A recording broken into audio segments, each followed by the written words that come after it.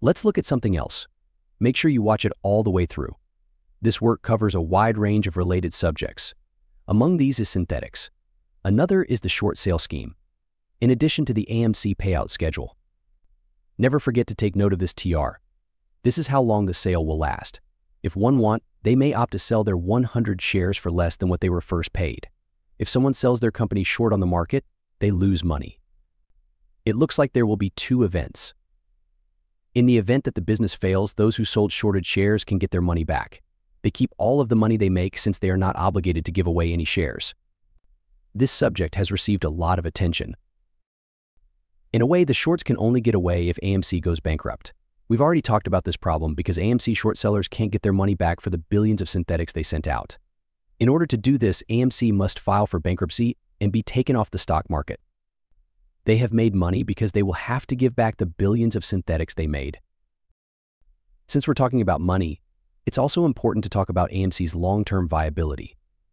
This is because, among other things, the MOASS rely on the company's survival to keep the squeeze play going. Retail customers would have sold 99% of their shares if AMC had gone bankrupt. This means that short sellers would have made money because the only way for them to get shares was if the company went bankrupt. As you can see again, they don't have to give back the shares. Why do you need extra cash? That being said, why do things the same way every time? Getting your cash situation better, it's important to make your business last longer. In this case, AMC would not need to raise money to run if they were able to become self-sufficient, which means they could make money from their operations. Surviving and what we've talked about is the shorts are already in display. They have to continuously make synthetics every single day, every single week, every single week, every single month, every single year to make sure that the AMC price doesn't explode to make sure that they don't have to cover. But what we've talked about is as long as AMC doesn't go bankrupt, then again, they have to continuously doing this and it will cost them a ton of money, and we're talking potentially millions of dollars every single day, going to billions of dollars every single way, guys. In today's video, we are going to be talking about how it's game over for short the one, but 200% short selling imbalance to short allo and many more in this video, so make sure you guys watch until the end straight away taking a look at this. So what we have is an article right now from Seeking Alpha which talks about AMC likely dead money in 2024. So the point they gave was struggling movie. Theater chain AMC Entertainment announced a $250 million share sale, causing the share price to drop over 14% on Thursday. The company can only pay for losses in debt repayment through stock races, which makes the risk profile very bad. AMC's repeated stock offerings and struggling core business pose a lot of risk, including the possibility of going out of business. We're going to talk about all of these points today, and again, how this is obviously wrong. To begin, we know that the price drop was caused by the market slowdown in algorithms. As we've already talked about, shorts are also dropping the price to stop us from getting funds because they know that AMC's ability to raise funds puts them in a tough spot. First, take a look at this right now to make sure you're reading it right. One of GameStop's points in this story was that AMC was useless since they were now making money. As you can see, AMC is having a hard time and has even thought about shutting down. Right now, they're saying that AMC is a bad company because it's not making money, which is why the price is going down. But if we look more closely, we can see that Games has officially made a profit, but the price has also gone down. Brokers can't use the 75 million shares that Direct Direct Direct filed and took out of the DTC pool for NC clearing and settlement. Because of this, there are now 230 million shares outstanding instead of 305 million shares. This means that the actual DRS corrected short selling deficit for GE is 1,262 shares. We can't figure out how profitable it is right now. If a stock has a lot of short exposure to firms like Citadel Virtu Goldman Citigroup, these firms are shorting the stock and forcing, influencing, and setting the price of the stock to keep going down. That's what they mean when they say that AMC's share price is going down because the movie theater group is having trouble.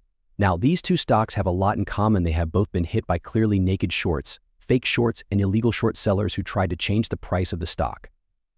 To help you understand, the points I'm making now seem to be what's on the surface of this article. But if you look deeper, you'll see that these are just the short sellers struggling and panicking and trying to scare you because, once again, it's game over for them. Why would they keep being mean to stores if the play is over and everyone has already bought? Why are these organizations growing so fast? Aren't they made up of HLS? I will definitely buy and hold at the 1% level, which is the clearest sign that the shorts are over. The shorts are scared at first because they are still trying to get you to buy.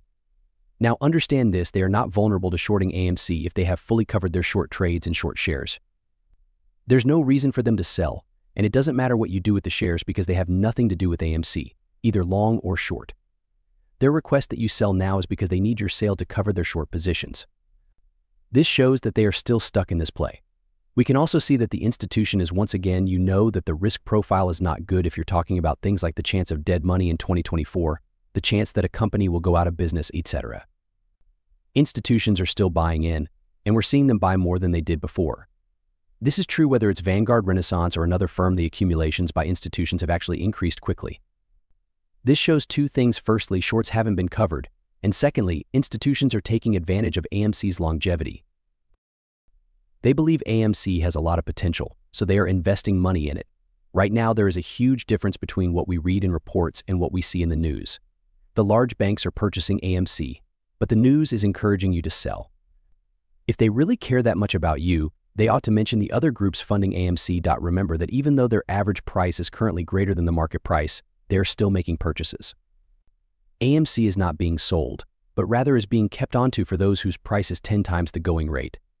Furthermore, if they had believed AMC would fail, they would have sold their shares months, weeks, or years ago. However, they don't as they are aware of AMC's long-term goals. Moreover, it is evident that AMC is still being manipulated by short hedge fund algorithms.